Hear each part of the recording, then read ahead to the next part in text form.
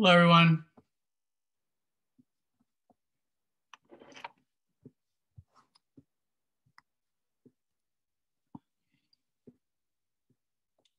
Right, let's see. Let's do a quick speed set, just test just to make sure we're open.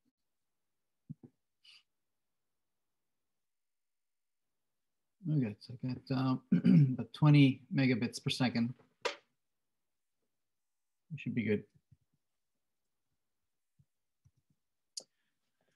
All right, let me uh, share my screen.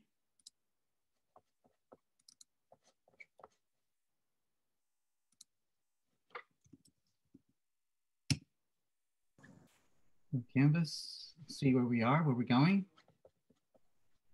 Hi, Professor. Could I ask a quick question about the project before we get into the course material? Sure. For the search component that we did in the prototype and then that's mentioned in the project requirements, it talks about how the, the summarized list should be kind of feeding from the third-party API. Yes. Would it be possible to have the summarized list be feeding from like our own API and database and then have some other element of the page be feeding from a third party API? Uh, yeah, actually, yes, exactly. So the um, uh, there could be definitely a merge of the data, some of the data coming from a third party API and some of the data coming from your API.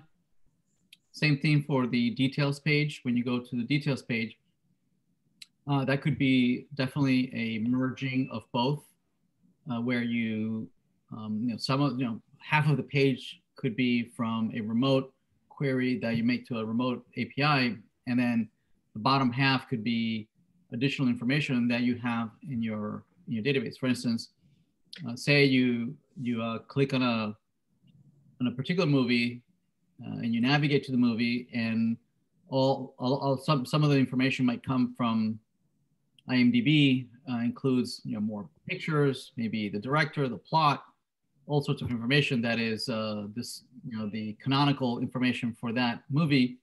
But then you might have on your in your database, you know all the people that like that movie or have reviewed that movie uh, or have a thumbs up or thumbs down or rating, right? All that information would be in your database uh, and made available through your own API and keyed off of maybe the same IMDb key so that you know that the information that you retrieve from the IMDb API matches to information that you have stored in your database, right? Again, keyed off of that same ID. So you know that things match. Same thing with the result in the result when the in, when you search and you you show the results uh, it might be that if you if if you know who's logged in uh, you might show in that result set you might show not only the the name of the movie but you might show that uh, maybe you've you've given a thumbs up or thumbs down or heart right or or a rating to that movie that you have stored in your database right? So so you have some information that um, that is from locally that you know the title of the movie, you know the IMDb, you know that you having logged in and, and, and the server knows who you are, can do a merge and say, ah, you've you've you know previously you have liked this movie, you give it a thumbs up. So some information can come from the remote server and some information can be coming from your database. And you know it's the same IMDb ID and you can mesh together that information. That'd be pretty cool. I see. That that does make sense. Um, I guess the use case I was thinking of is slightly different. Like in our case, the main entity is like a reservation, which would be something that we would store, or like if we're doing a like a tennis court booking system where you want to be able to search for places where you can book a court, and that data would come from our our API but if we wanted to, so that would be the search results. Um, but then perhaps we could show something else on the page, you know, if we're wanted to go and get weather information for, you know, the location or, or something else, is the requirement strict in that the, the main model or the main entity has to be from the from the third party or? Uh, no, you, you, you could have a, an, an additional query uh, if you're doing a like a GPS location. Uh, you can you could augment the, the information with a third party API and and look for things around that area, uh, maybe things to eat or or you know, weather information for that particular area for that particular time. Yeah, that would that that would that would work as well. Yes. Okay, great. Yeah, I just wanted to confirm that as long as we're somehow meshing the info that that would kind of meet the meet the requirements. Thank you. Yep. Hi, Okay, Professor. uh, I let's see. also a very, Oh, go ahead. Oh, sorry, it's a very quick question, I think. So for the web public API, does the API that fetch a location count as one of the uh, viable public API? I think this is for the current, uh, so for the time being, this is the only API that we are going to use. Does that Eh, count? uh, the uh, I- uh, what are you what are you retrieving? The current location or the so Well, I the can cur- uh, use the current public API to get my current location. So the current location is already part of the browser. The, the browser has an API. So it's a library and you can query it Browser. saying, what's my location? But, um, and uh, so, so that, that would not be an API. That would not be a RESTful or URL uh, retrieving data from any, anybody or, or are you? Are you retrieving data from somewhere? Mm, we, we are planning on to uh, design an app that uh, was kind of you can travel with a local person and then you have to specify your location so that you can be the guide for other per- uh, for other people. Um, Right. So what, what I'm saying is that uh, uh, when we say API, right, it's a it's a uh, it means a communication API, right? You're communicating with a third-party API uh, that it's either RESTful or uh, it's providing some kind of web service that you are retrieving using some kind of URL. Uh, not not not a, uh, a a function or a method that you can um, embed because of some JavaScript library, right? Uh, I mean, there's tons of JavaScript libraries. Bootstrap has its own library. Uh, you know, underscore has a really nice library. Uh, so all these have have uh, JavaScript libraries. And so that's not what we mean, right? We mean like a, a RESTful communication API where you have to access data using Okay. some kind of URL.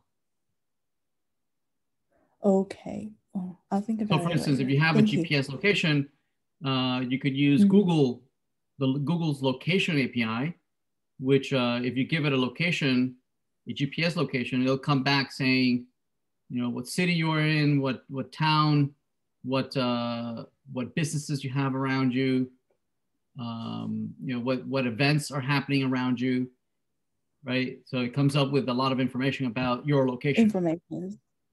I'm sorry, Oh, that is a public API. that is a public API. RESTful. Yes, Okay, got it. Uh, Thank you. Professor, yes. uh, we, we can obviously take this offline. Uh, I just want to ask, like, briefly, uh, can we like use you as a resource to kind of uh, fine tune our state management in terms of Redux and using some of the different uh, hooks that they offer, uh, Oh, of different course. functions Yes, that they sure. offer?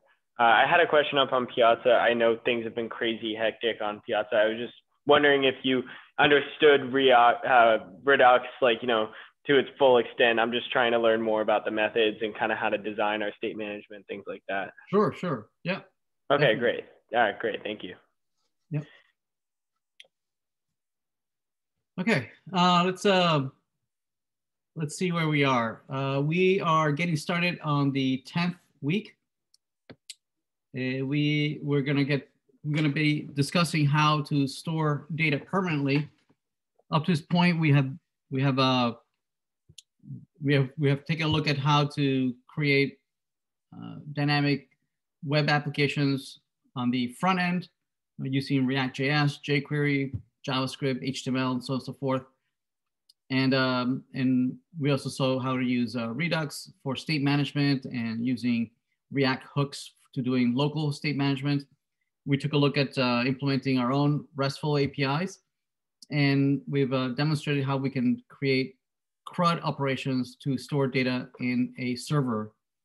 Uh, now that data is not being stored permanently. It, it's only uh, temporary inside of the memory of that machine. When the when that server goes down, right, any anything that you might have stored in the uh, in the in the machine's memory, right, it'll be gone when it reboots. So we want to have a more permanent solution, and that's what we're going to be discussing today, uh, and also next week. We um, we're going to talk about storing data in a MySQL relational database. It, up to this point, we we were storing, for instance, our widgets in arrays.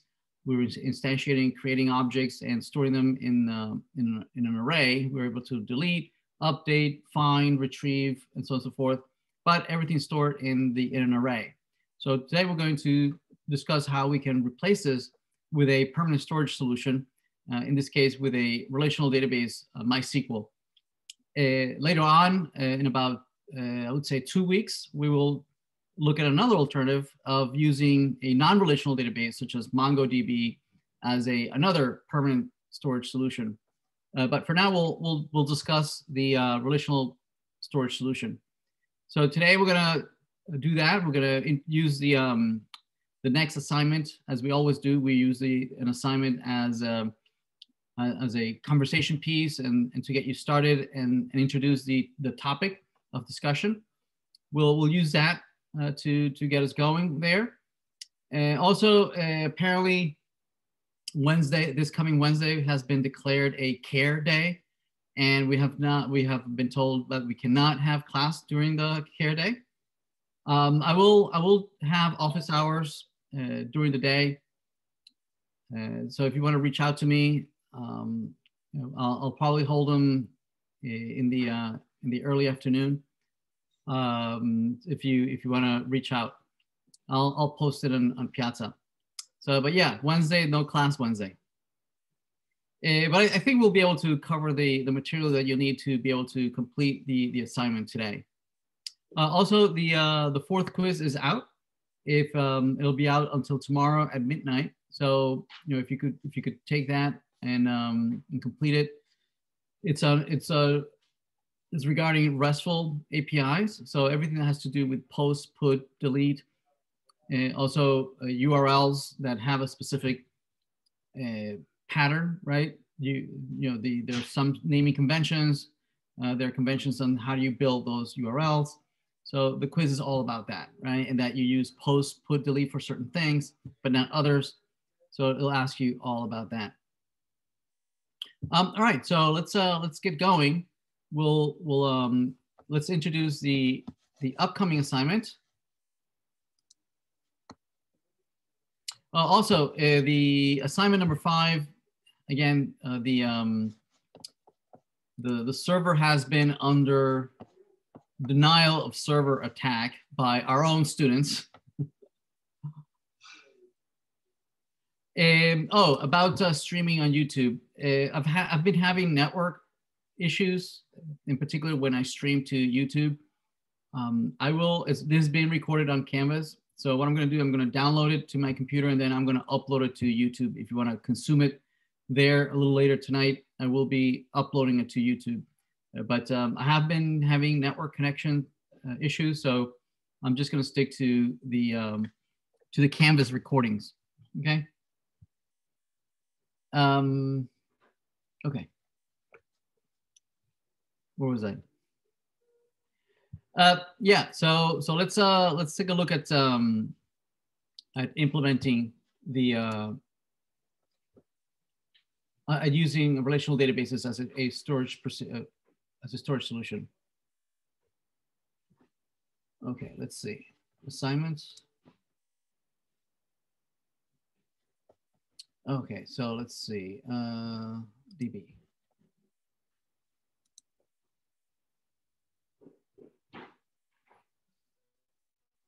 All right. Okay, so for, for this assignment, we're gonna be building on what we already had uh, implemented in the previous assignment where we uh, created a RESTful API to interact with a widget data model, right? We were able to create, re, um, create, find, retrieve, delete, update uh, widgets. We were using just a, a, simple array. So we want to replace that implementation with a permanent storage solution, uh, which will use uh, MySQL. Okay, uh, we're going to we're going to revisit the data model, right? The same widget.java data model that we had.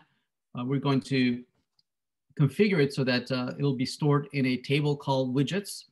And we'll talk about how to implement being able to uh, implement all those CRUD op operations, but instead of going out to the array, it's going to go out to the database. Right, to do that, we're going to need to do a couple of annotations that we'll be discussing today. We'll be creating a repository uh, that will implement the um, uh, a generic version of the CRUD operations that will allow us to uh, to interact with the data model. Uh, we um, I don't believe you need to modify the web service. Maybe a few things here and there, just tweak it, uh, but uh, but probably might get away with just not touching it at all. The um, that once we once we have replaced the current implementation of the widget service to use the database instead of using the array, uh, we're going to uh, head back to the uh, client side on the on the client on the uh, React side, we're going to implement two more widgets. Right, we'll implement the, um, the list widget and we will implement the image widget, okay? And, and I'll, again, as always, I'm gonna get you going as much as I can. And you're, you're welcome to use the, this source code uh, for your own purpose, okay? Um, all right, so let's, um, let's bring the, um, let's open up the projects that we're gonna be using for this, uh, for this lecture. Uh, let's see, we will need, uh, first we'll need the, the Java server, right? That's where we're going to replace the array, right, with using the, the table, the database. Okay, so let's see, under jannunzi, and we are, let's see, we have a web dev 2021 spring in section two. And so we'll need the uh, Java server. Let's open that up. Okay. All right, so let's just review real quick what we have here so far, right? Let's uh, start the server. Uh, this will will deploy a, an application, a RESTful application that we can um, retrieve data from this array. Uh, the current implementation is to use the um, uh, the service in the service, like the current implementation is to use this array of, of widgets okay? And the service is being used by a controller, right, that uses this uh, service to expose the data model in these third party, in these uh, APIs, our own APIs, okay? Um, so what we're gonna be focusing on is uh, re-implementing uh, so that uh, we can throw away this array and instead go out to the database, right? Um, okay. So how do we do that? Okay, so first of all, we'll need a database, right? You'll need to download MySQL, MySQL Server, and install it on your on your local machine. Uh, you'll need to install the uh, MySQL. You can find it here. You can look for MySQL Community Community Server, and you can download it from here right? You'll, you'll have installers for both for Mac or, or Windows, right? You download it, you install it locally on your machine. And, uh, and then you, you'll be able to start it and stop it from your uh, system, from your system um, uh, um, preferences, right? So for instance, on, on a Mac, you can go to system preferences and you'll get a brand new configuration here, MySQL, and it'll tell you whether the server is up and running, right? You can stop it and start it from, from um, uh, the system preferences. On, uh, on Windows is uh, through the uh, system, also the system, right? Which you can see all the, all the uh, uh, sorry, the services configuration, and, and you can see the list of all the services that are running in the background, and, and you can look for MySQL and you can start a SQL Server or stop a SQL Server from running. Uh, so, so yeah, so you can you need to install the server and, and get it running. Once it's uh, running, you'll also need to download a Workbench. You'll need to download Workbench, um, Workbench here, MySQL Workbench. So this is the client.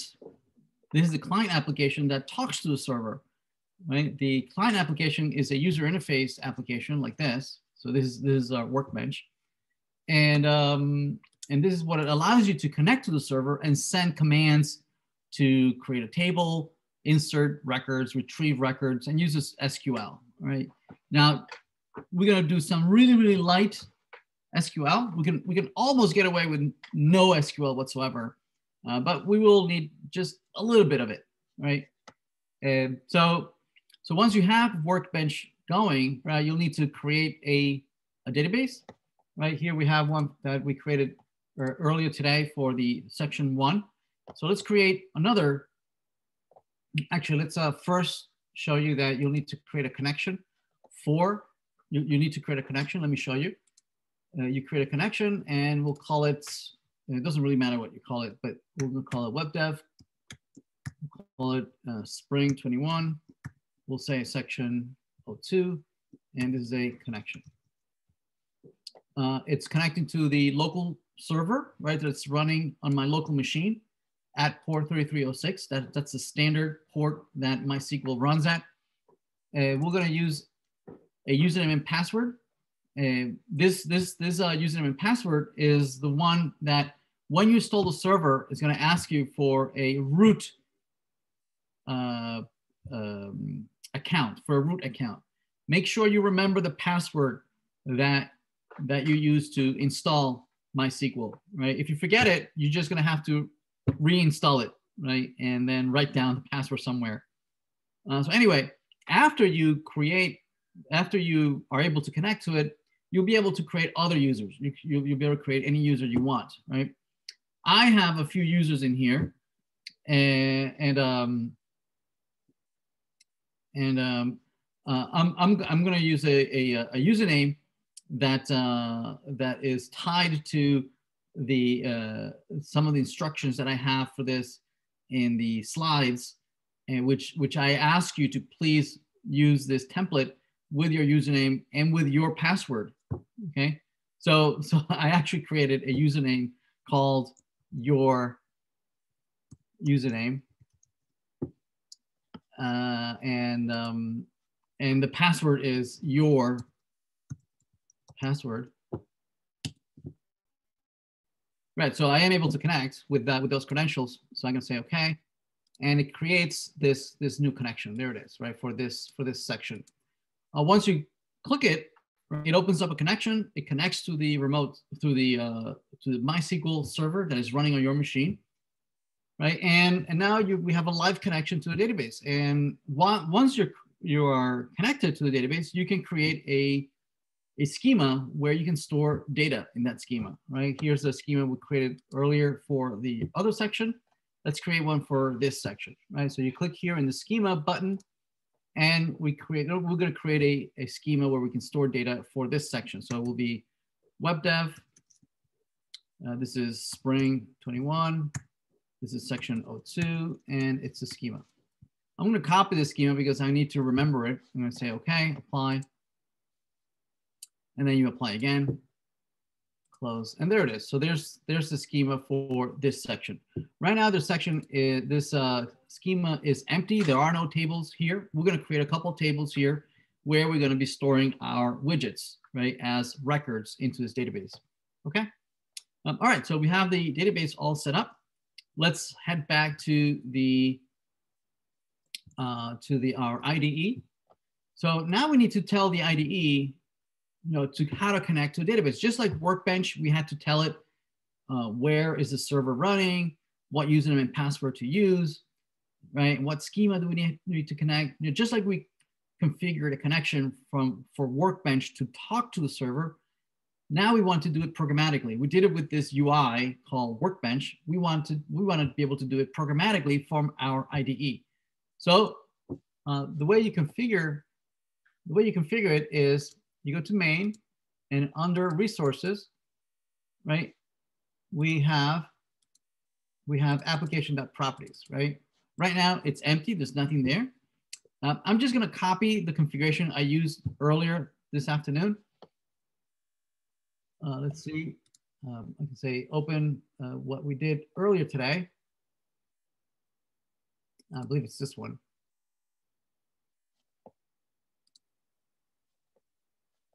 And uh, so if you, I'm just going to copy it from application of properties. There it is. So this is this is a configuration. This is this is from the slides. This is straight from the slides, right? I'm just going to copy this, and I'm going to go out to our other server for this section, and I'm just going to paste configurations here, and we can talk about this a little bit. All right, let's talk about this. Uh, so, so the the first line, right, configures this um, this uh, project to to when, when it boots up when the server boots up it reads this file and it uh, it's using these keywords right on the left hand side and saying hey i need a data source and i need it to be connected to this server over here. And this is saying to saying that we are connecting to mysql a mysql server which is running on my machine, localhost. It's listening at port 3306. Uh, and the, the database schema is the following. It's the one we just created two seconds ago, right? Call webdev spring 21, right? O2 schema, okay? The username and password that I use, this is the, these are the same username and password I use to connect from MySQL. So they are identical, those are, those are it. Uh, the only other one that uh, we care is this one over here that says that I want my ID, my project, right, to try and generate the the uh, the database, right, from the the Java code. Okay, so it's going to try and map my Java code, my data model of my widgets and, and everything, uh, any other Java code that I might have in my uh, in my IDE, right, in my project is going to try and, and generate an equivalent uh, data model in, in the relational database, right? Right now, the relational database is empty. There's, there are no tables, right? So I can refresh. Notice that there are no tables whatsoever, right? But this update, right, either update or create, either one, right, will try to generate the, the database for us, right? The tables for us so that we don't have to do it manually okay, we can, we can tell it to do it for us, okay? Uh, so I'm gonna use update. So create, what create does is that it creates the database brand new every time the server boots up. And that's fine, right? Maybe to get us started. Uh, and you know, it creates a table, uh, all the all the constraints and everything, right? But after a while, you know, when you start inserting data and you have lots of data in the tables, it's very annoying that it would blow away the entire table and recreate it brand new every time we start the server. Update is kind of like um, uh, the next step and where, it says, uh, yeah, don't blow away the database, right? If the table's are already there, right, then then you know, don't recreate it. Okay, um, maybe maybe you know if something has changed from last time that we had a data a, a data, maybe you added a new field maybe you change the data type of a field or something, what we'll try and do is do incremental changes to the database, right? As you change the object model, it'll try to change the relational model, right? These, this technique, this, this, um, this technology is called ORM. It means object relational mapping, right? It's going to try and map an object data model, is going to try and map it to a relational model, right? The intent is that it is going to allow us to stay as far as as far as uh, uh, as, uh, as we can to let us stay in the object world without having to be burdened with the relational world, right? At least we have to create the database, which we did. Okay, so let me show you how cool it is, right? If we if we take a look at the the data model that we have so far, is right now it's just this uh, widget class, right? And the idea would be that we want to store right, right now we're storing instances of widget in an array of widgets right let me let me close this right we're storing these widgets where in the in the widget service. In the widget service, we have an array of widgets. And so we're storing it over here. But we don't want to do that, right? We want to store it not in a widgets array, we want to store it in a widgets table for permanent storage. How do we do that? Well, what we do is that we go through the data model, right? And uh, we're going to be using, we want to be use, use this technology ORM, right? The object relational mapping uh, technology. Well, Java has a specific ORM technology. You know, pretty much every single language and infrastructure uh, has its own ORM implementation. You know, Java has a few, Python has a, has a whole bunch, right? C Sharp has a whole bunch. You know, every, every language you could possibly think of will have some ORM solution and they'll, they all have their own quirks, right? But they'll uh, try to do basically the same thing, right? It allows you to work with the objects and it will convert any modification, anything that you do to the object, right, it'll try to convert that into changes in the database. Okay, so so to enable that, right, we already we already have the connection to a database, right? We, we already did that, right? We configured that over here in the properties. So so we know how to connect to a database. We know how to connect to a database. Uh, we need to bring in libraries, right? That will implement the ORM, the the object relational mapping technology. That is not out of the box. Java doesn't come with that out of the box. You need to install uh, several other libraries, right? So what we're gonna do is that we're gonna add them in my in our POM, right? The POM is where we define all the libraries that that we need to uh, for implementing our project, right? So we're gonna add a couple more dependencies uh, here, right? So that it'll download those dependencies, those, those libraries so that we can use that technology. But we already did that in uh, earlier this uh, afternoon. I'm just, I'm just gonna copy from the POM file, right? And again, this is all in the slides. Uh, so we're gonna copy two things here. We're gonna first copy the library that is going to allow us to communicate with MySQL, right? So I'm just copy that and you can just copy it anywhere inside the dependencies here, dependencies. Right now we have two dependencies, right? So just, I'll put a, that at the bottom. Okay, so this one is the library that allows any Java code, right, to, to connect to MySQL, right? So, I mean, that, that's kind of the low level stuff, right? We need to be able to have our Java code talk to MySQL, right? So that's, that's a minimum that we need to have. The other thing that we're gonna need, right, is the ORM solution, this ORM solution. And that's implemented in a library called JPA. JPA stands for Java Persistence API. Okay, so it's a it's a, a set of libraries that uh, can look at Java code or Java object Java classes, and if we you know annotate them with some magical incantations, right, it'll know to convert them into uh, relational tables, right? So let me copy that dependency as well. And I'll just paste it under here. Okay, notice that my IDE has detected that we have changed a couple things here in the POM file and says uh, Maven project needs to be imported. So we'll say import changes. So I'm gonna click on that and notice on the left-hand side here, it's gonna start downloading libraries, okay, and copying them here, right, to be able to to use this, to be able to connect to the database, to be able to do the mapping between the objects and the relational world. And it looks like it's done. Okay. So once we have that, we can head over to the, the data model and start using the library. Okay, so what do we want to do? Uh, we want what we you know we want these widgets not to be stored in an array widgets. We want to be stored in a table, in a database table called widgets. So how do we do that? The way we do that is by annotating this. We're gonna do an annotation and we're gonna annotate it with entity. See that, this entity here? Not the second one. Notice the second one is deprecated. So don't use that one. So this first one. Okay, so, so this, this entity is a, uh, it's an interface, right, that lives under javax.persistence.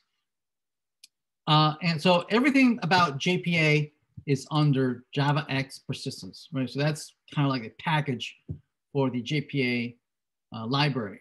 Okay, and entity, entity is the entry point to the library. It says, It's, it's, it's being applied to this class over here, right? And, and, and basically what it says is that we have, we are intent on converting or mapping this class to an equivalent table in the relational database, okay?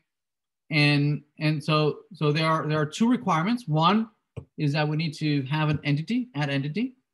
And the other one is that we need a one of the fields need to needs to be declared as the primary key. Okay, in our case, we're going to be using ID. Now notice that the you know this ID, um, you know, it's, it's uh, you usually in a Java application, you know, we don't have a unique identifier. There's no real need for it. Uh, but we did add, add it here with the intent that we knew that we were going to store this in a, in a database.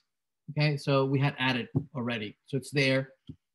Uh, so, so we need to annotate this and tell let, let JPA, the JPA library, that this is going to be our primary key.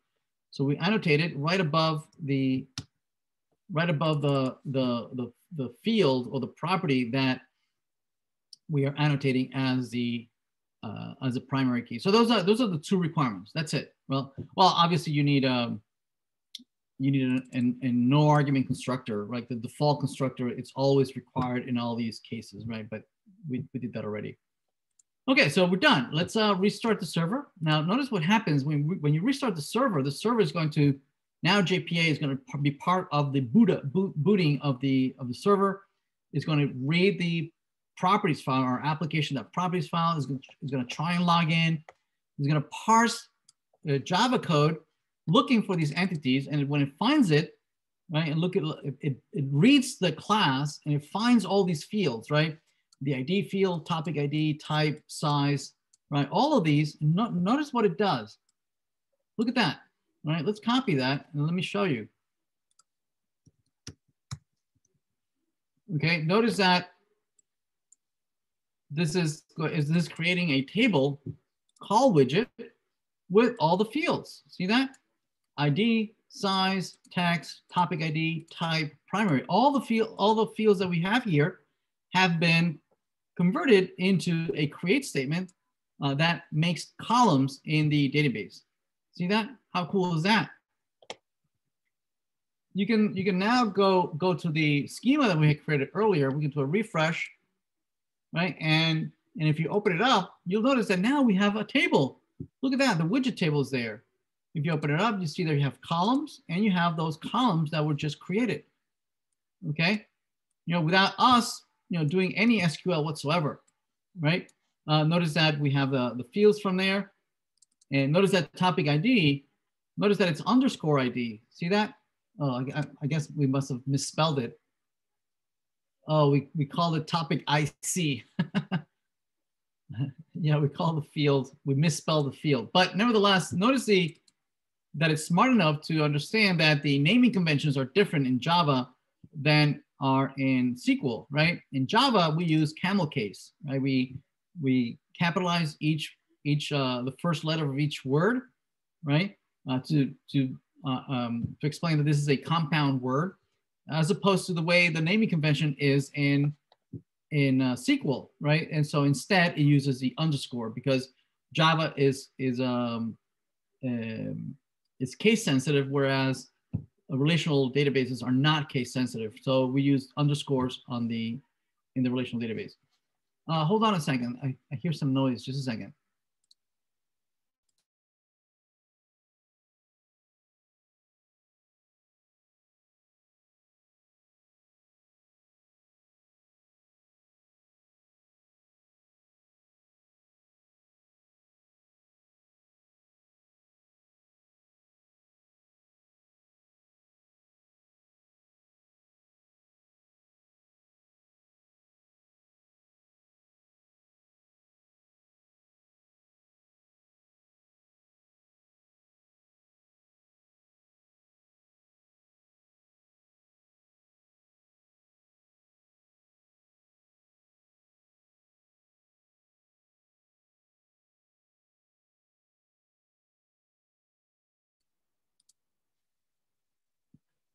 Sorry about that.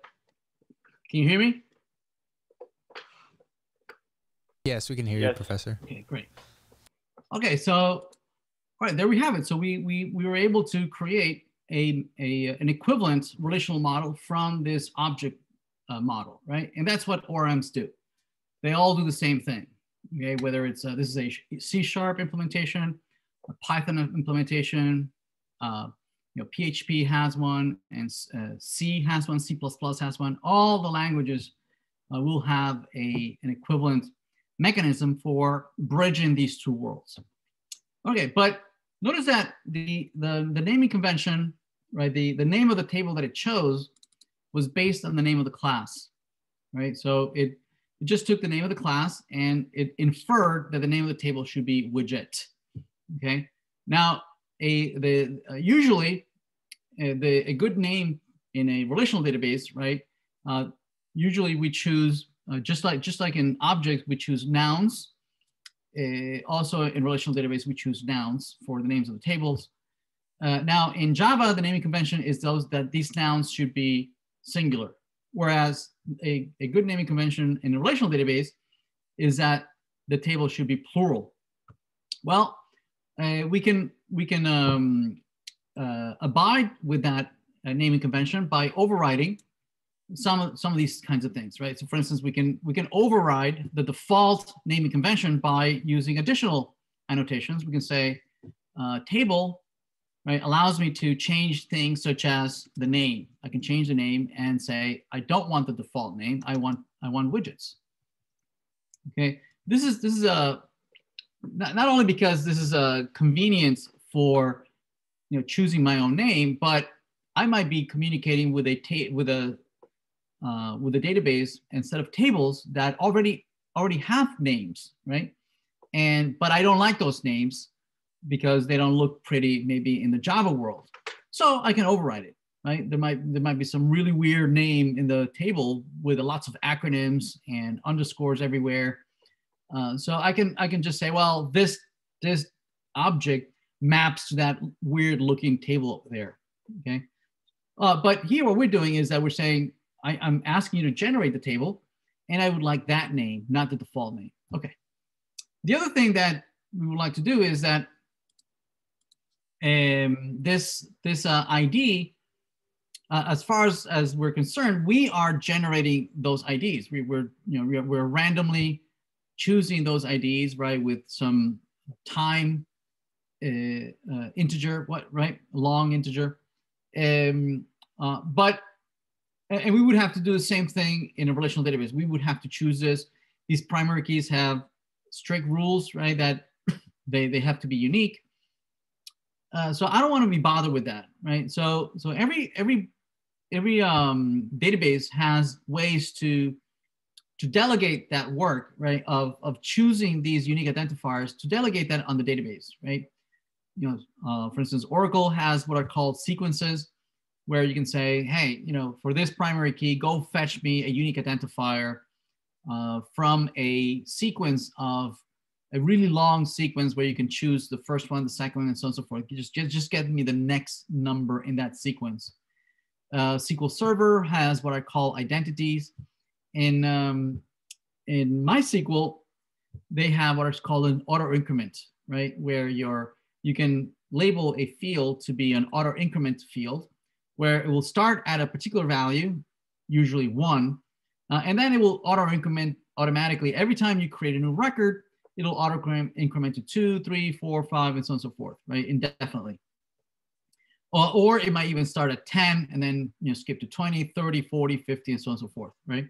So we want to we want to kick off that feature. We want to, uh, and, and the way we do that, I mean, I don't want to do it in SQL. Instead, from the Java code, we can annotate it as follows. We can say that this field is a generated field, right? The value, it's a generated value, right? The value of this field is auto-generated by a, the database. Now we have to choose, depending on which database we are using, what strategy. Is it, is it being, uh, what strategy are we using to generate this data, right? Is it, is it being pulled from some kind of sequence?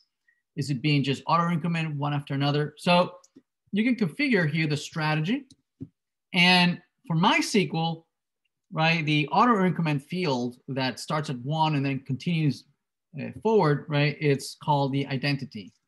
So, so generation type dot identity, you know, kicks off the uh, the auto increment um, feature. Okay. All right. So let's let's rerun this. Let's restart this and let's see what the server does this time.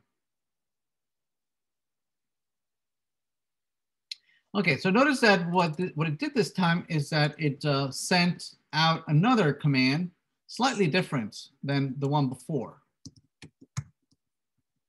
Okay, notice that now the table is called widgets, okay, all, uh, with a plural, and our ID now notice that it has an auto increment in it.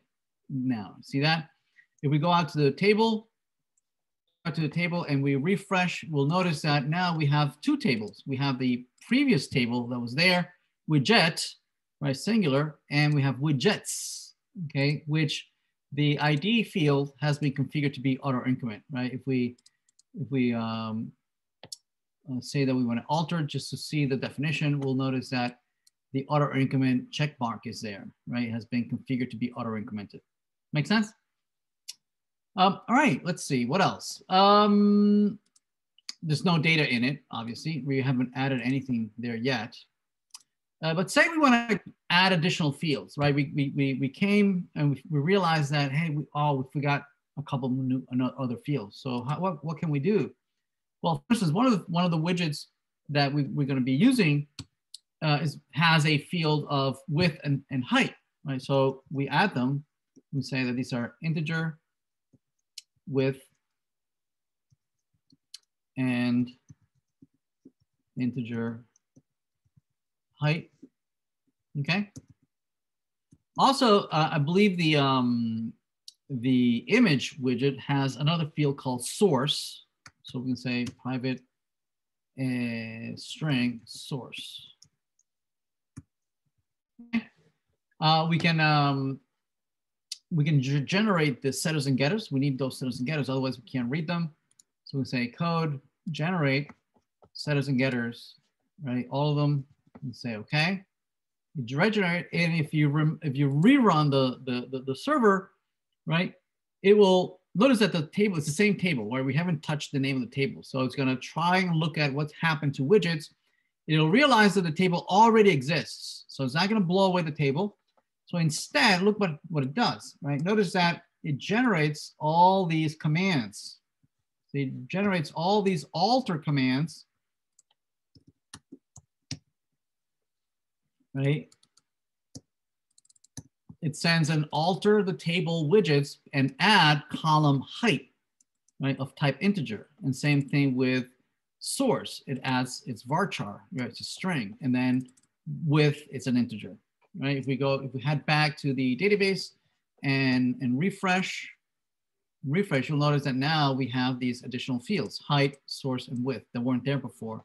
Also here, we'll see that if we refresh the query, notice that we now have height, source, and width that were not there before. Make sense? Everybody good? Okay, so so we were we we're able to uh, we're, we're able to uh, convert our data model our object data model into a relational data model. Okay.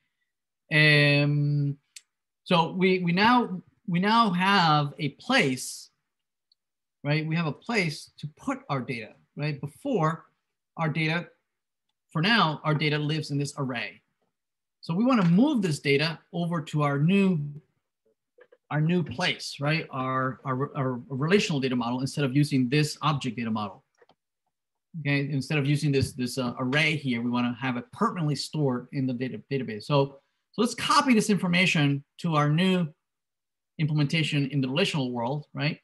Uh, let's see. Um, we have um, the first one. We have these these two widgets belonging to topic ID ABC123. So let's do that. Uh, let's see, topic ID, there we go. Let's do that. Okay, those two.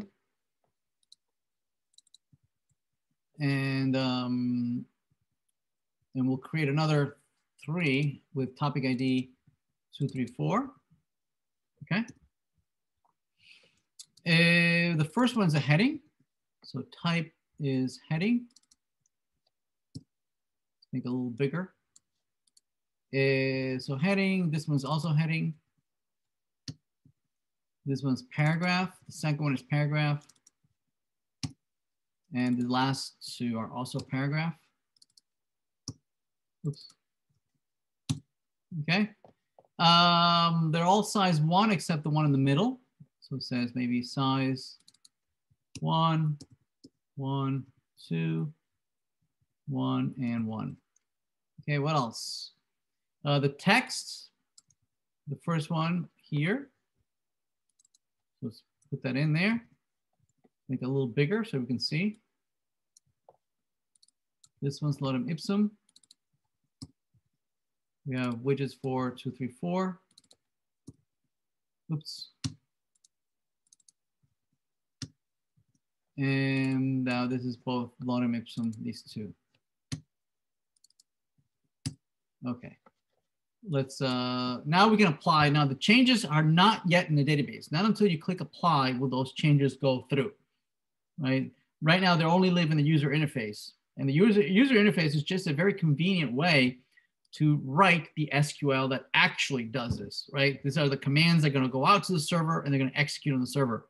The user interface is just a convenient way of writing this instead of you writing it manually right, at the console when, when talking to a database, right? So we're gonna say apply and database is gonna say, okay, the data is has been saved. Notice that now we have the primary keys with values that weren't there before, one, one through five. And they were auto incremented, they were auto generated. Notice one, two, three, four, five. Okay. All right. Uh, let's see. Okay, so we have we have a data model. We stored some data. So this is now lives over there. Uh, what we want to what we want to try and do is now see if we can replace right all this implementation so that we don't need the array anymore. Right. We want to get the data not from the array but from the remote database instead of creating a, uh, an, a, a widget in the array. We want to create it in the database, right? So how do we do that? So to talk to a database, right, we'll need to create what are called a repository, right? So JPA defines what is called a repository. So a repository is the interface between the Java world and the data world, okay? And, uh, we can create it from scratch, or we can use one of their templated uh, implementations, right? They already have a whole bunch of these uh, repositories that know how to insert, update, delete, and interact with the with the database. Okay, so let's do that. Uh, so we're going to create a new package here where we can put our repositories. So we'll say new package repository repositories. We have you can have many repositories.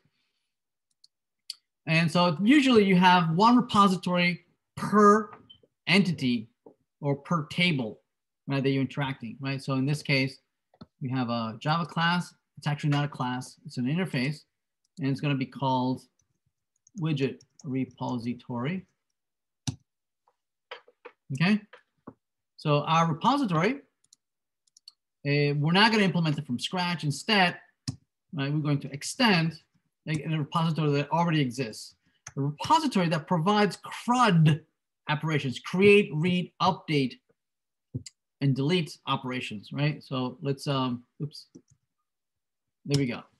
And this CRUD repository needs to be configured, right? Because it's a generic repository, right? We wanna, we wanna implement a specific repository for widgets, but we're gonna build it on, in terms of a generic repository. And this generic repository needs to be configured so that it can be specific to one of the tables or one of the widget, one of the, uh, so that it's specific to the widget. So the way we make this generic repository be specific to a specific uh, data model is by configuring, right, in these, in these pointy brackets, what it is that we want to store. All right, so what do we want to CRUD? We want to CRUD widgets. So we put here widget, right? That's what we want to CRUD, right? Um, the other the other thing that it's going to need, the, other, the, the second argument that it needs to configure is the data type of the primary key, right? So the our primary key is, I believe it's long, right? So there it is. So this is long. That's all it needs, right? Now, this CRUD repository implements a whole bunch of out of the box default generic implementations, some of which, right, it's it's all we need. Eh, other ones we're going to maybe perhaps override because we don't like specifically the way they work, right? Uh, so, but for the most part, right, we can just stick to the to the default implementation. Okay, so let's take a look at what we can do with this out of the box. Okay, right, so we have the here. Notice it's an interface, right? So there's no implementation, mm-hmm. right? All right, so let's go back to the service. We're gonna try and use this CRUD implementation, right, to replace this array, right? So let's bring in the our brand new repository, right? So the repository is the widget repository. There it is. And we're just gonna call it repository. Now notice the repository is an interface, right? So we cannot instantiate an interface, right? And, also these, these repositories are, are meant to be uh, application-wide resources, right? So these are, are going to implement you know, a database connection, a live database connection that is going to be sending data back and forth. So these, these usually are resources that are meant to be a single instance, right? They implement a, a, um, a design pattern called singleton, where you have one single instance hanging around and it's being shared by everybody throughout the application. You just have one of these. Now, usually these uh, these singletons, um, since it's it's an application-wide resource, uh, usually we are not responsible for the instantiation, right? The creation and um, and managing the life cycle of these of these resources. Instead, we delegate that to the infrastructure, to the server. The server is going to be responsible for creating these things connecting to the database, logging in, you know, making sure that the connection is stable, blah, blah, blah, right? And creating a session to the database. Uh, and so, so the way we delegate that to the infrastructure is that we use an annotation called auto, auto wired.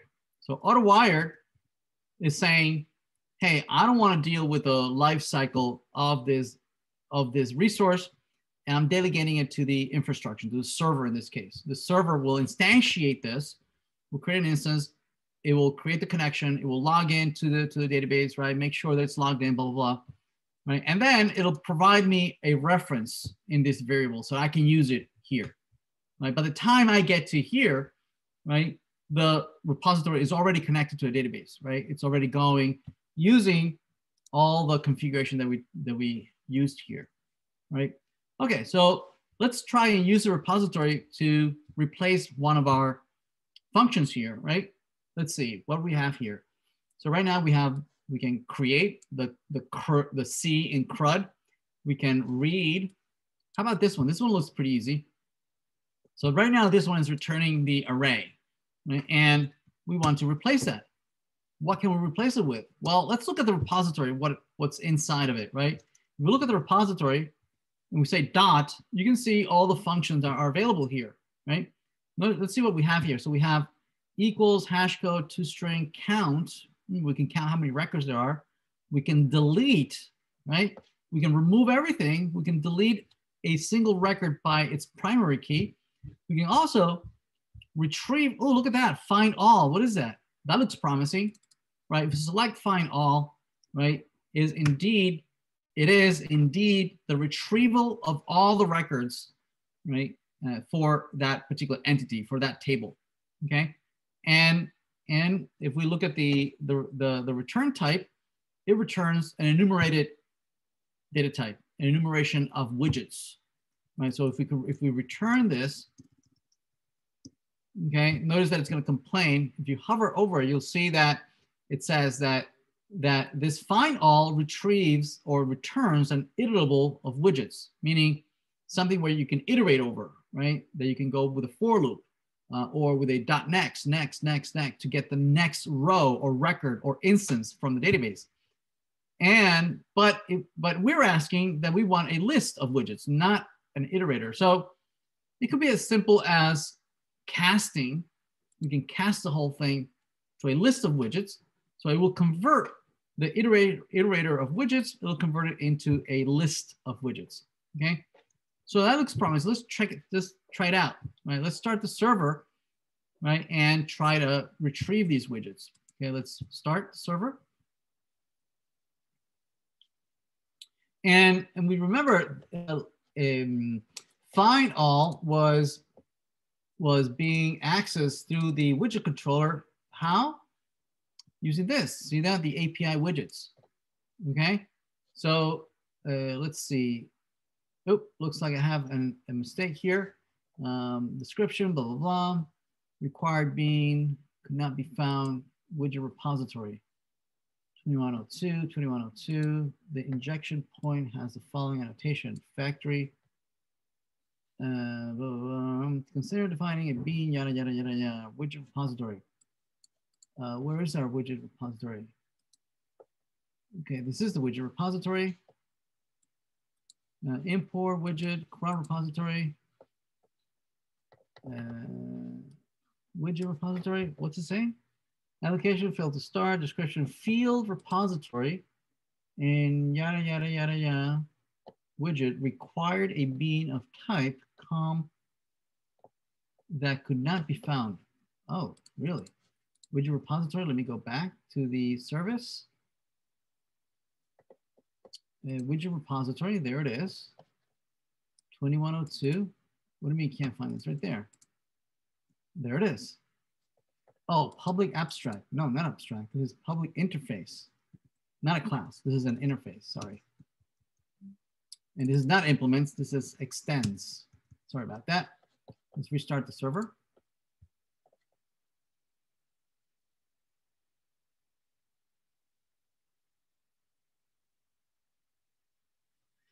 Okay, so this is going to start the server. It's up and running. We can now try to hit that URL, right? It'll be localhost uh, 8080.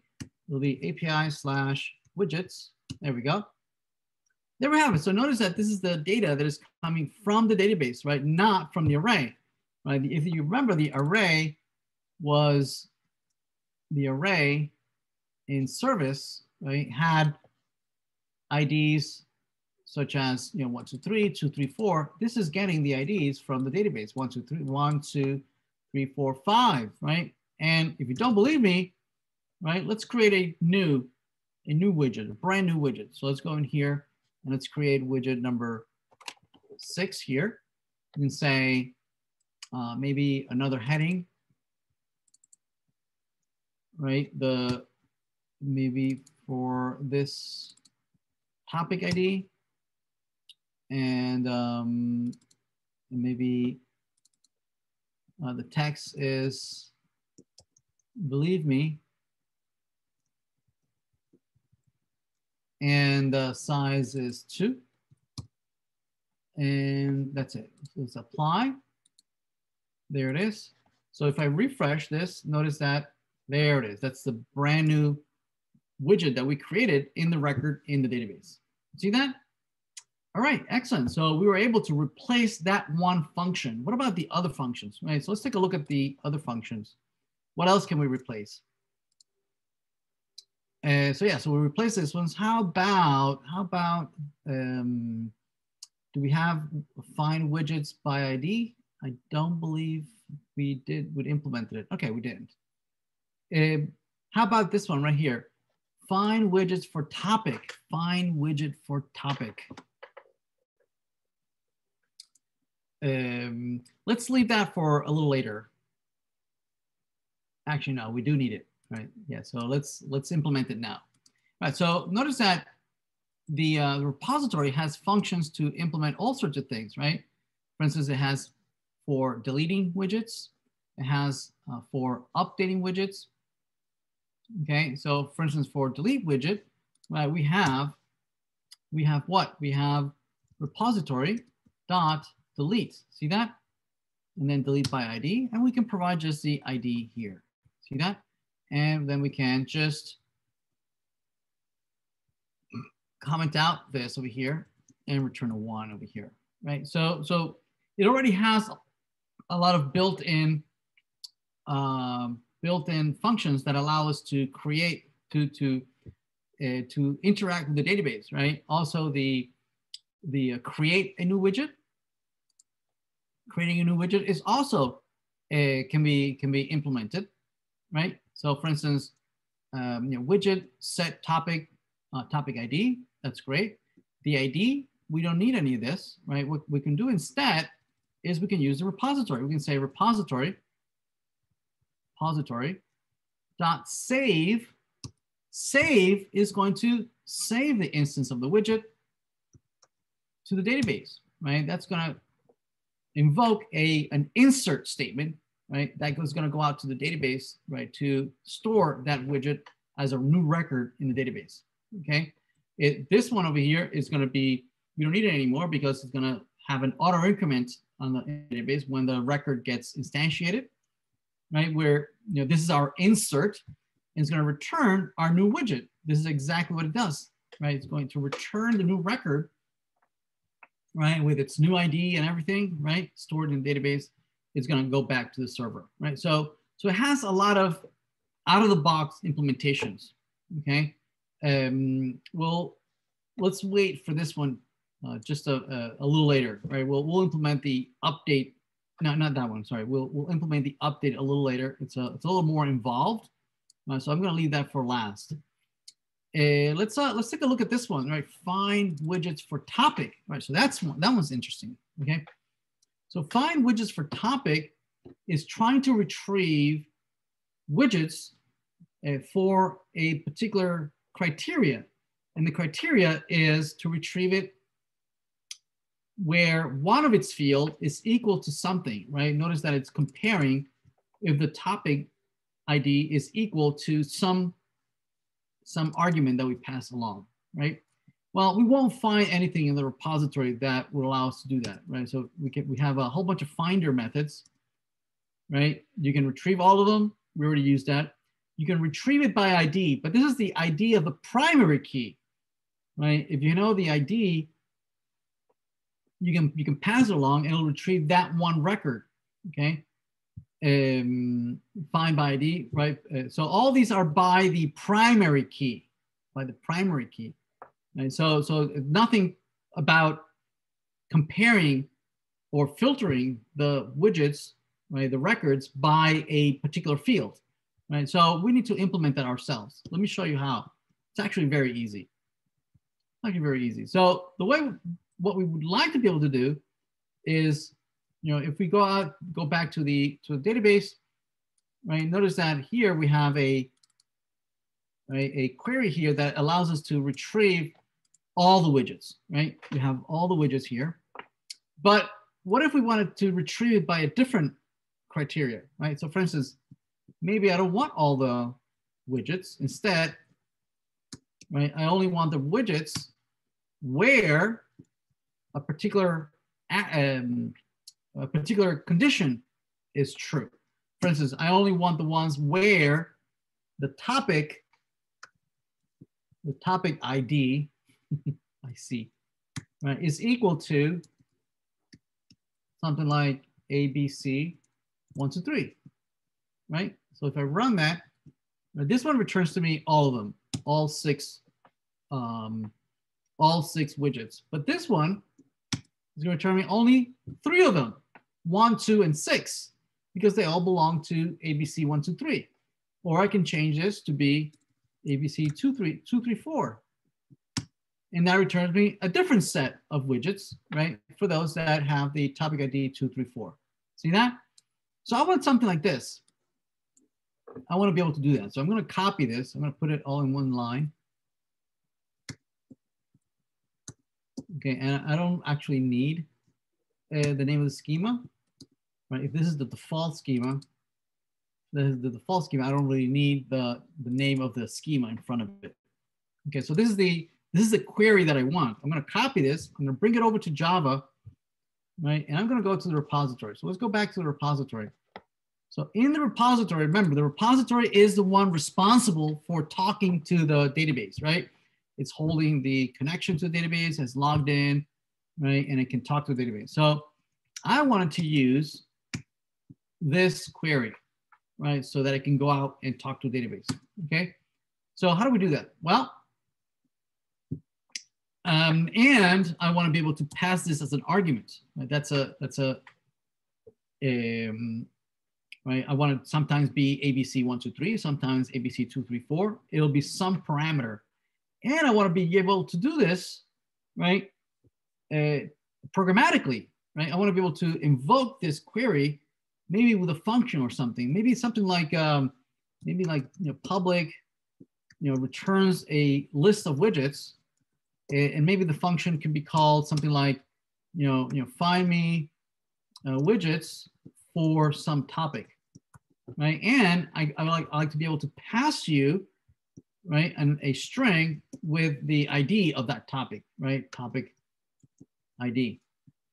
I want to pass you that. So, so how do we do this? Well, it turns out that JPA allows you to do this very easily, right? It allows you to declare this to be a query. I can say this is a query. Okay, that has the following value and that this is a this is a native query. Native meaning this is this is literally what I want you to use to talk to the database. I want you to take this exactly as it is and send it over to the server, right? right? Don't try to interpret it. Don't try to, you know, make your own magic or anything, right? This is my magic. I know my query. I want you to use this. Right? So, so I need to tell it that this is na native query, meaning you know don't interpret this. Do exactly as it is.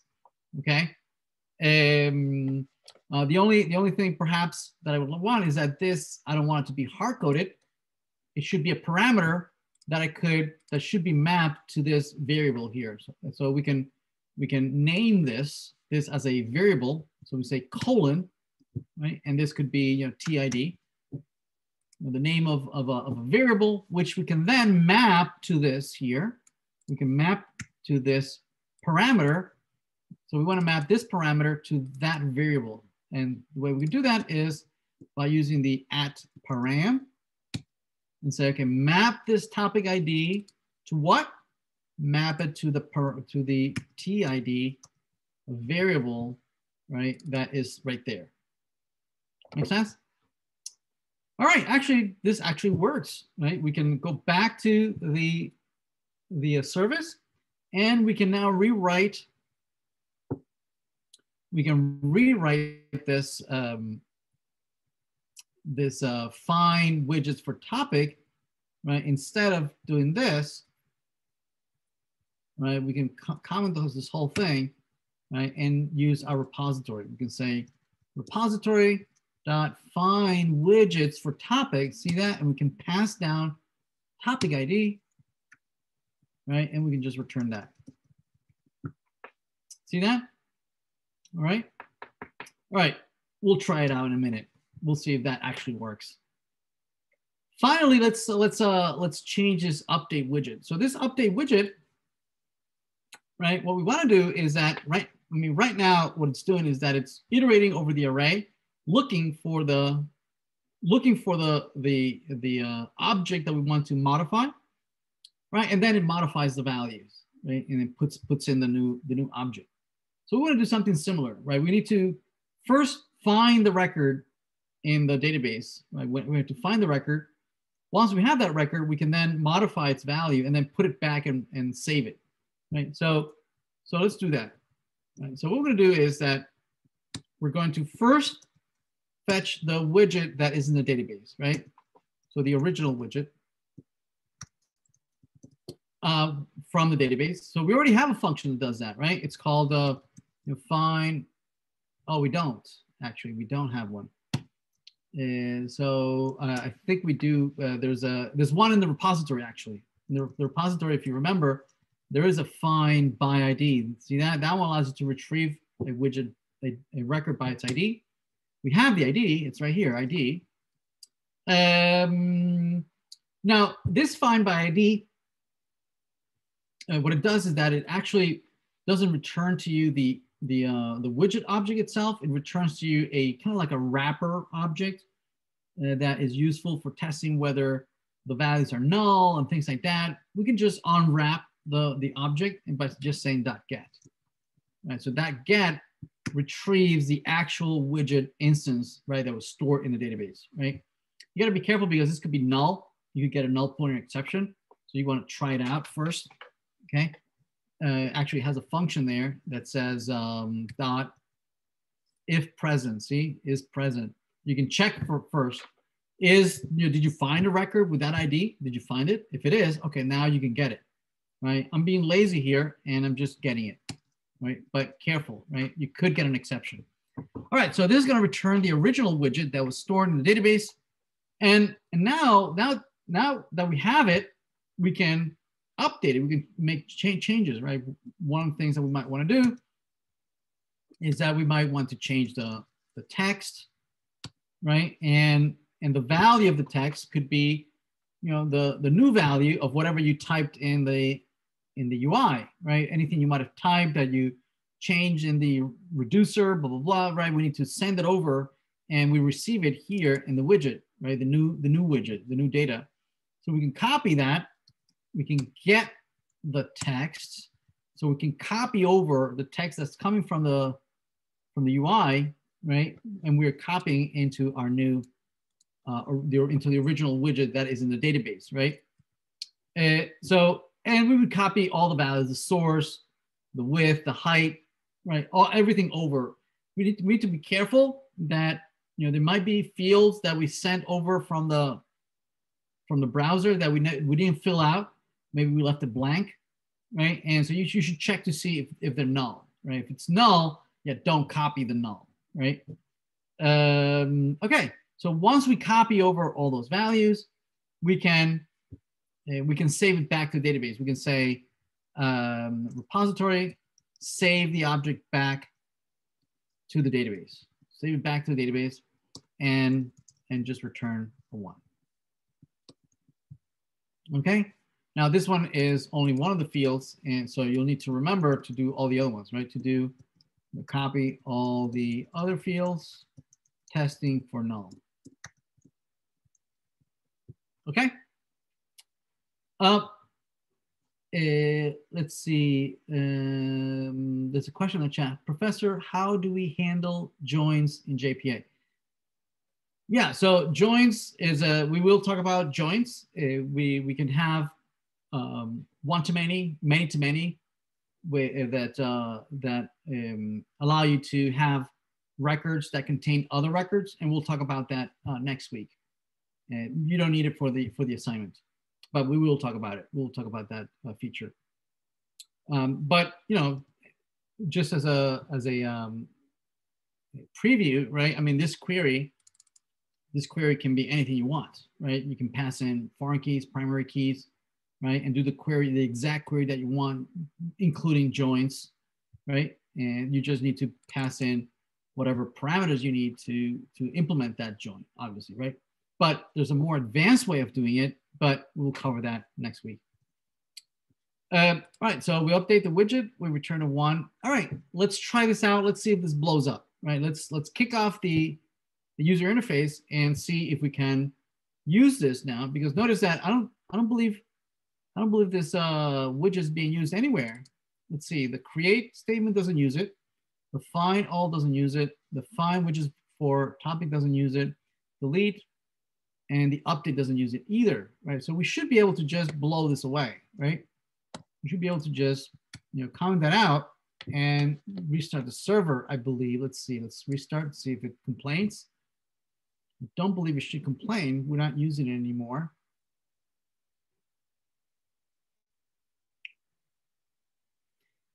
Okay, so let's kick off the uh, the client side who's using this uh, service uh, let's see. Um, we'll need the uh, section two. So, okay, section two, Java client React. Okay, let's let's bring that up. And let's run it here. Let's run it.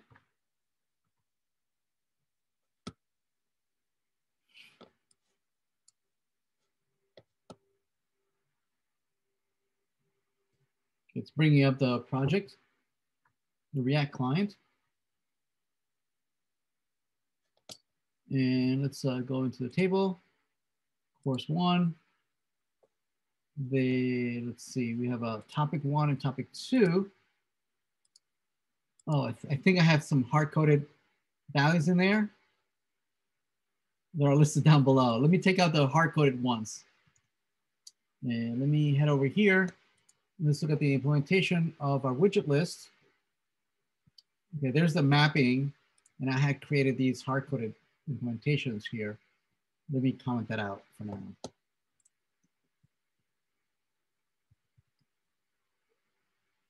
There it is. Okay, so these, presumably, these are the widgets for one of the topics.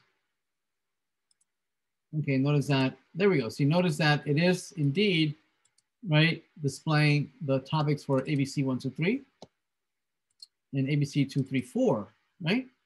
Uh, and we can change it. So this is a widget for topic ABC 1, 2, 3. We can change it if we go to a database and retrieve all of these, right? There's a, a topic ABC123. And we, if we change something here, just put some exclamation at the end and do some apply. Right, and we refresh, you'll notice that indeed the changes are there. So definitely it is connected to a database and retrieving that data from the database. Right, what about all the other stuff? Can we can we re remove something? Let's remove this over here, this lorem ipsum. And so we remove, um, I think this one, number two. Okay, so let's remove that. Let's remove delete. Let's refresh. So it looks like it's gone. It's coming here and refresh. Notice that indeed record number two is gone. See that? How about creating a brand new one? So we create a new one. There it is, a new widget for ABC one, two, three, right? We can add a couple and refresh. Looks like they're permanently being created. We refresh here. Notice that indeed we have the three new records have been created at the bottom. Okay. Uh, and let's see, I'm not sure if we have finished the update. Uh, we never implemented the update. Yeah, I'll leave that to you, right? So that you can play around with the uh, update yourself. All right, so there you have it, right? So we've been able to successfully replace uh, the array, right, with the implementation of a table and repository and use the use using the uh, technology of JPA that allows us to map the class, classes and the object model to a relational model. Right. So let's take a look at now at implementing some of the some of the user interface, right, that is going to use some of this, excuse me, all, all the stuff that we've been describing. Okay. Uh, so once you once you have the database up and running, we're asking you to implement two new widgets, okay? The, we're gonna implement the list widget and the image widget, okay? Now the, the list widget is going to allow users to create lists, lists of items, okay? Um, they're either gonna render as bullets, as an unordered list, or they're gonna, they can render as ordered lists, right? And each one has its own items. Uh, it's going to have a uh, an, an edit icon, you know, represented here by a cog. That if you click on the cog, it renders in like an, an edit mode. Okay, and the edit mode allows you to select whether the list is ordered or unordered. Right, by default, it's unordered. Right, if it's if it's unchecked, it's unordered, and it displays like this. Right, if it's checked, then the list is ordered. And when it renders, it renders like that, right? One, two, three, four, five. Okay, the items can be defined by filling out a text area. So this text area you know, allows you to type the values for the items, right? So they, they are added one at a time in, in, a, in its, its own line, right? And what the text area does is that uh, each line, right, it, the way it knows that it needs to wrap is that is that it breaks the lines using a new line. A new line character is a backslash n, backslash n. Uh, so so let's use that to to render that, right? So let's create a couple of these widgets and give them their own type, right? It'll be the list widget and the and the next one is an image widget. Let's take a look at let's look at uh, implementing some of these, right? And rendering one or the other depending on the type. Okay, so let's do that. Let's create a couple of placeholders for the widgets, right? So under widgets, right, let's create two new widgets. So this will be, this is the um, list widget.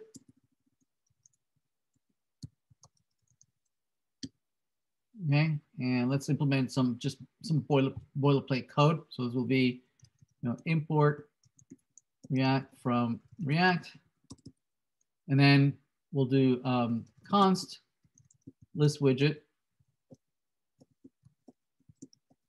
and this will render a return. Uh, div, and this will be a um, a list widget. And depending on whether I'm being edited, right, edited, then then I will either if, so if I, if I am being edited, then I render a something like this. Right, maybe a label that says um, uh, ordered or unordered, right? So like a checkbox. So this will be an input type of type um, checkbox. So type type checkbox. Okay, and uh, and then and then maybe a, a, a, a piece of text that says ordered or dead. Okay. Uh, also down below, right? Maybe we can do a, a break, maybe, and put here something like um, uh, item uh, item list. And down below, it could be this could be a text area. And and this this um this area maybe we can make it make it look a little prettier. And this could be a, a form control. Okay. All right. Excellent. Uh, so if we're not being edited, if we're not being edited, so not editing, eh, we could render an actual list, right? And the list could be UL, right? Line item one, two, three, and just a few of these. So two, four, two, four, five, and four, five, six. Okay. Um, all right, so we have the beginnings of, of, the, of that widget, right? Let's see how, what, how this renders. So we have here, so export, um, default, list, list widget, okay? So in the, in the, um, in the widget list, what we could do is that as we're iterating over this, right, remember that we, right, if it's a widget, then we, if it's a heading widget, we, we render the heading widget. Well, if it's a paragraph, we render the paragraph, depending on the type, okay? So we can do the same thing with the list widget that we just defined, right? If the type is list, then we're gonna render, oops, we're gonna render the list widget, okay? And we're gonna pass the same thing. We're gonna pass the widget and whether it's being edited, right? So we'll, pass also what the actual widget. All right. All right, so let's let's head over here right, and see if we can see any any list widgets. I don't believe so because uh, I don't believe we have any any list widgets. But let's see, that's that's fine because we can we can totally create one in the database, right? So for instance, this this new widget here, by default, these are heading widgets, right? So let's let's go back to the database. Oh, where is it? Okay, and let's create, let's let's make this one of these and this one will make it a list widget. Okay, so let's update. And if we head back over here, we refresh, notice that indeed, see that? It's, it's rendering the unordered list, right? One, two, three, with the text right as we as we want so it's it's in this side of the it's in it's in this side of the uh not being edited if we click on edit notice that it didn't work what Uh, so are we not passing editing? Edit, edited, editing? Oh wait, not edited. No, it's it's called the editing, right? Editing, editing. So editing. There we go. Let's try it again. All right, there it is. So notice that if we click here, there we go. So it swaps to the edited. So we can say, okay, right, it's being changed. All right, so that works perfectly. Uh, we can make this a little longer, right, by, by saying the text area. We can say rows, how many rows you want, and we can start maybe 10. It's in, I think 10 is a nice and wide area here, right? So, so let's, let's add some content in here, right? So, you know, so each item uh, needs to be in a separate line separated by new line character. Okay, so I'm just gonna copy that.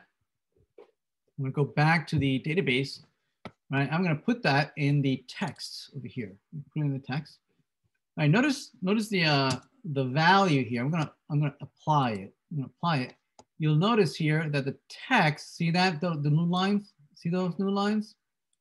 That's what we're gonna use right? That's what I'm gonna use as a clue on how, when we render dynamically the list, right? We're gonna use that to break, to split the string on new line so that we can iterate and then render the, the, uh, the text, okay, the, the, the list. Let's apply there, okay? And um, so let's refresh. Let's edit. So what do we want here? we want the the um, we want the content, right? We want the the, the content uh, of the value, right? And and actually, let's um, uh, let's let's tie it, right? Let's tie this to that value, which is the text value, right? So we can do that.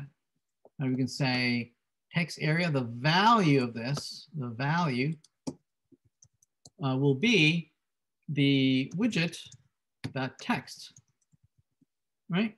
There it is, the text is there. But when we say, okay, we don't want this hard-coded value. Instead, we want to generate this dynamically from the text.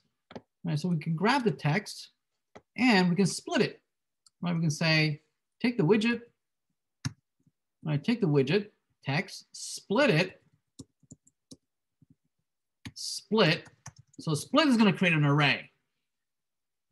Separate it, all, all the items that are separated by the new line character, right?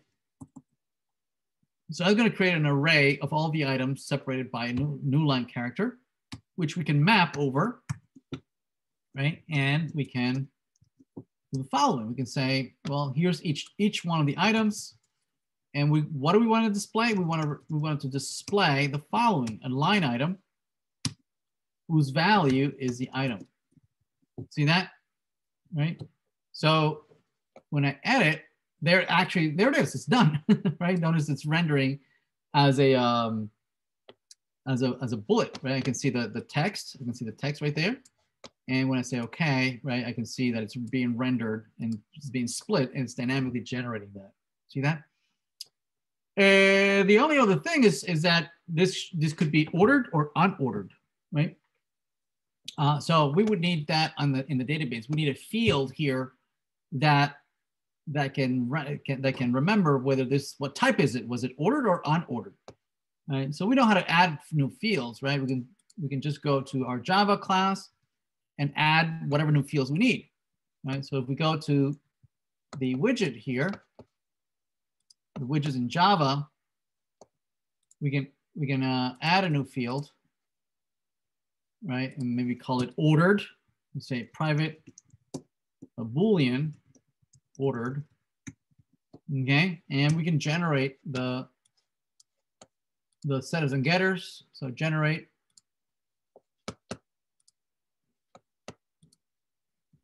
okay, and we can um, we can restart the server. So this will alter the table by adding a brand new field called ordered right, which needs to be able to represent a Boolean value, which either is true or false. So the way the way booleans are one way, a typical way that booleans are represented in in SQL is by using the bit, right? Using bit, meaning the value can be either zero or one. Another very common way of doing it is using tiny int, but bit works just as well, right? So if we go back here and we refresh, notice that we now have an ordered field column, right? So this list, we can say one or zero. Zero meaning it's unordered and one meaning it is ordered. So I'm gonna say one, I'm gonna say apply. And um, ordered, we don't want the character one, we want the value one. Let me say apply. Okay, and uh, if we refresh, notice that we have that one. So coming back over here, we can say, in coming back on the on the user interface, we can say uh, that the value of this checkbox is that value of the order. Right? We can say that, is this checked? Well, it is checked if the widgets dot ordered, right, is true, right? That's coming from the server. The server is saying it's going to be converted in Java either with true or false. And so that if we go here and we render it and we edit, uh, oh, it, it didn't do it. Why check, checked. Uh, checked, type checkbox. Mm, hmm. Let me, let me look at the value. Let me render let's render here uh, down below. Let's render here JSON dot stringify the widget. What does that render? Down below, let's see. Size, text, ordered, where's ordered? Um, separated, blah, blah, blah, blah, blah, topic. That's interesting. Where's the ordered? Uh, maybe I need to restart the server. Let's do that. Yeah, let's restart the server. Yeah, probably doesn't probably doesn't uh, know about that new field, right? Because we haven't started the server, so it has a an old version of the widget class. Okay, so start the server. Let's refresh. And let's edit. Okay, there it is. See that? It's checked. It's checked because the ordered ordered is true. So it knows how to convert the bit 0, 1 in the database. It knows how to convert it into the top level Java data type of Boolean true false, okay, which is perfect because also in the JavaScript, it also can be used for, uh, you know, rendering this correctly.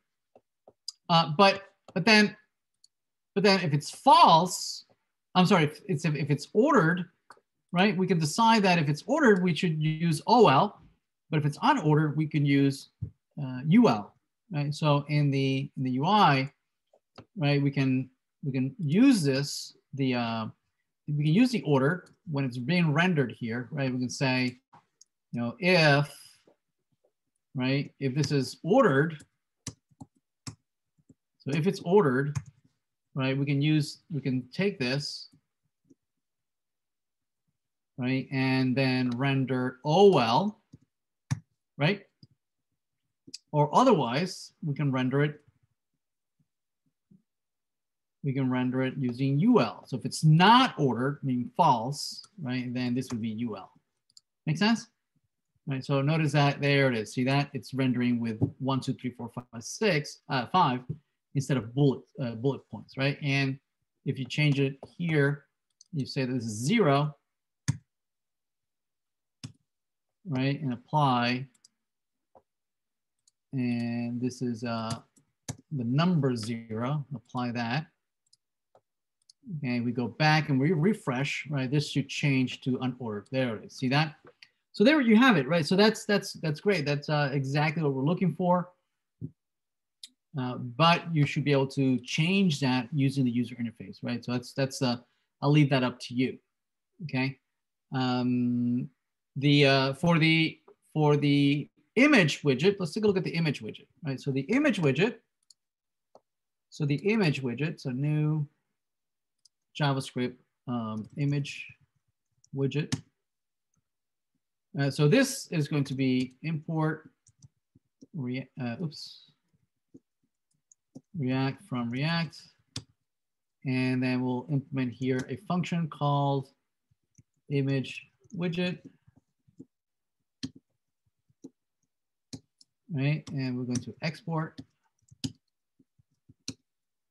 Okay, and so this image widget is going to receive the same arguments before, right? It'll be the actual widget and whether it's being, we're editing the widget. So the, the, the, so the widget is going to render either either an image or a form to edit that image, right? So if it's um, so if we're being if we're not editing, right? If we're not editing, then this should render an actual image. So an IMG with a source equal to whatever the value of the source is, right? Um, like that, right? And the source might be, you know, widget dot source. Okay, whatever the value of that is, uh, editing. But if you're if you are editing, then then you should you, you need a form. And the form, as the assignment says, there will be three fields. Right? The three fields. The three fields are for you to specify the URL of the image, right? So some image on the on the internet. Here, we're not asking you to upload this image to the server. We're not asking you to store this image in the database or anything like that. This is a URL to an image that is out there on the on the on the web, right? And somebody just can copy that URL and then paste it, right? So let me show you. So say um, say you look for um, a starship, spaceship, starship. SpaceX is starship, right? So image, and uh, say it's uh, I don't know, whatever, this image. And if you go there, you can look at the image and you can say um, open image in new tab. There it is. Notice JPEG. See that? That JPEG? I can copy that. copy that, and I can go to the database. And so let's let's make one of these an image widget. Image. And there's a source here. See source? Actually, I don't know if that source is big enough to hold this. Let's paste it. Let's see if it complains. So we copy this. So it's a very long URL there. Let's say, let's apply. Let's see if it complains. Maybe it's too, maybe it's too, too small. All right, looks like it's okay. And let's uh, retrieve, say, see if it uh, comes back. Yeah, looks like it came back. All right, looks okay. It's type image, yes? Uh, so some somebody can can type that into an input field, right? And so it would be the input field uh, would have the value would have of that widget that src, right? And this would be a form control plus two more fields for width and height. Okay, so maybe you know, in the database, you could have width and height. So this could be, I don't know, 300 width and height 200. Okay, so so for so here you can you can you can show the values for that here, right? So let's see what that looks like. Uh, let me update that in the database. Probably need to say apply and update the height and the width. So so here in the in the uh, in the UI, right? When we are iterating over the list, over the uh, widget list, you can say that if the type, oops, if the type is image, then I want to render the image widget, the image widget. Okay, and so, so if we refresh, notice that, that we have that image uh, in there. It's a little bit too big, uh, but we, if we edit it, right, notice that we have the, the size and the, and the URL right? Or we have the actual image, right? So, so we can apply the sizes, right? Right. In the image widget to the image tag, we can say that the width is the widget dot width, right? And that the height is the widget dot height. Oops, height. There we go. Right, and notice that it takes the size of 300 wide and then 200 high. Okay, so obviously, you know, you have to complete this, right? You need to be able to update it, you know, save it back to the server, talk to the server, do the state management here, connect it to the reducer. So I'll leave that all, all up to you. Obviously, you need to make it look prettier, blah, blah, blah, right? Um, yeah, uh, so there you have it, right? So we were able to introduce um, the, uh, the database connect, connection, right? And being able to interact with it using JPA, implement all the various CRUD operations and replace the use of array for an actual table for permanent storage. Uh, and then and then we were able to you know integrate it with a, a user interface that uses that right to to be able to um, you know use that to render that content either as a list or as a as an image. Okay. All right. Um, yeah, that's all I have for you. Any any questions? Um, one question in the paragraph and the heading widget, we had the option of selecting what type of widget the widget was, and it would switch between one or the other. Um, do we still need to do that for these ones? Should we be able to switch between image and uh, list type uh, heading or paragraph? Uh, yes, they, they, they should all be interchangeable. So yeah. the, the second question on, on that is, if you create a widget for an image and then you decide to edit it and you turn it into a, a list and then you do it again, you're going to have like leftover values on the, the table, right? Yeah, exactly. There, if, if we, I, I don't suppose we have to do it for the assignment, but would it be necessary if you were actually doing um, production code to clean those values up before you change the widget? Or would you would you less would you just let the, the table get like polluted with, with non-used data? Uh, well, it, it depends uh, what the uh, requirements are. Uh, I mean, it could be that uh, you want you want to be able to have a, a an object be um, remember things from when it used to be something else.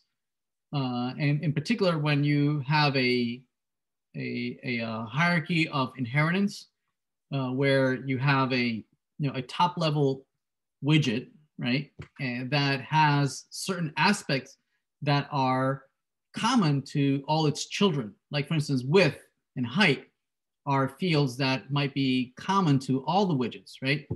Uh, regardless. So, so even if you even if you change the type, uh, you want to leave the width and height for all of them.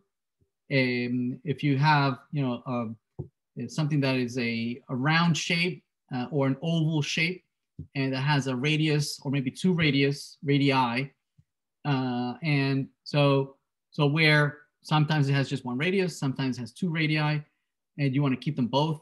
Uh, you want to be able to toggle between the two. Uh, so sometimes it is convenient to to keep track and maintain those those values uh, uh, if if there is a relationship.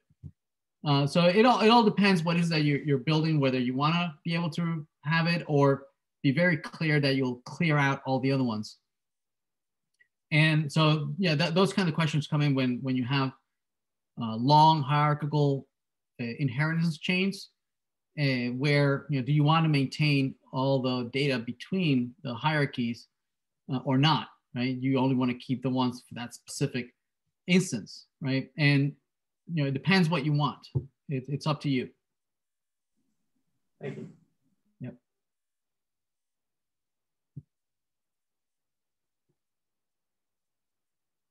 Anything else?